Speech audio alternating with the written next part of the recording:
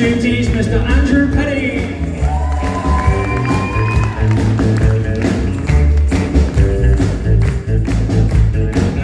The keys, he's got three keyboards, two hands.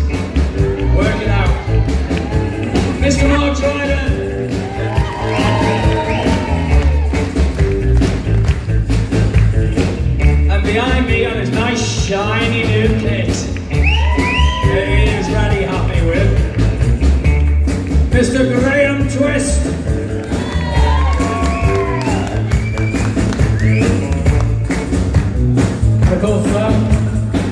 Uh, really do John Lennon show without uh, John.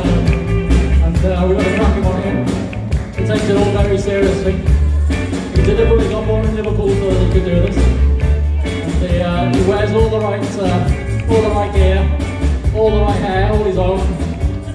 He's even got a little Japanese woman tied up in a bag at the back of the uh, back of the building. That's how seriously he takes it. Mr. Gaz Keenan!